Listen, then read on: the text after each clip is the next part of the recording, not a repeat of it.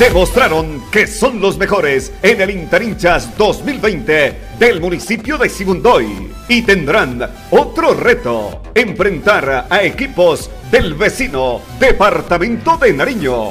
Este sábado 2 de enero de 2021, una de la tarde, el campeón veteranos Atlético Nacional versus Club River Plate de la ciudad de Pasto. 3 de la tarde, el campeón de la categoría libre, Deportivo Cali versus Club Surti Repuestos Edison. Y el domingo, por equidad de género, en la rama femenina, a las 10 y 30 de la mañana, las subcampeonas Deportivo Pasto versus Jaguares B de la ciudad de Pasto. Y a las 3 de la tarde, las campeonas Atlético Nacional versus Jaguares A de la ciudad de Pasto. Invita John Jairo Andrade, alcalde, Ricardo Caicedo, Oficina de Deportes Sibundoy.